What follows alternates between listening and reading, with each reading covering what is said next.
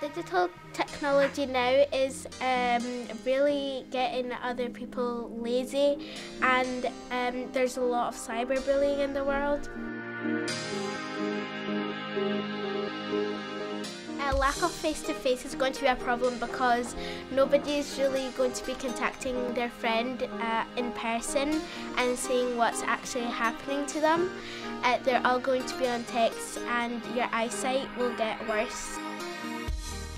I think that technology uh, we can change it by having a police like a, a, online police that will like pop on your screen when you're sending something bad to somebody. The the police will come on and then you will should get charged at least um, if they if they keep on sending it and uh, if they don't change it.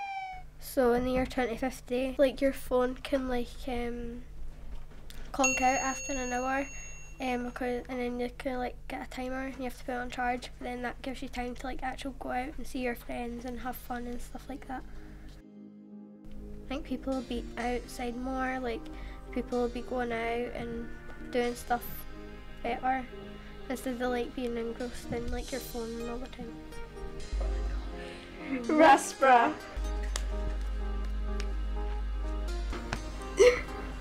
Right, catch you later.